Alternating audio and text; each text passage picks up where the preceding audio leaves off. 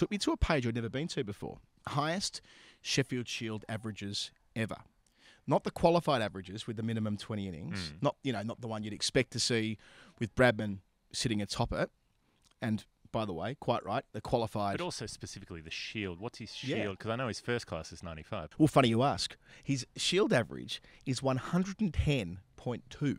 He played 62 Shield matches between 1927 and 1949 and hit 36 centuries, so better than a century every other game, which again just kind of reinforces what a freak this bloke That's, was. that's 1.72 matches Per per 100. 100 in Shield cricket, you know?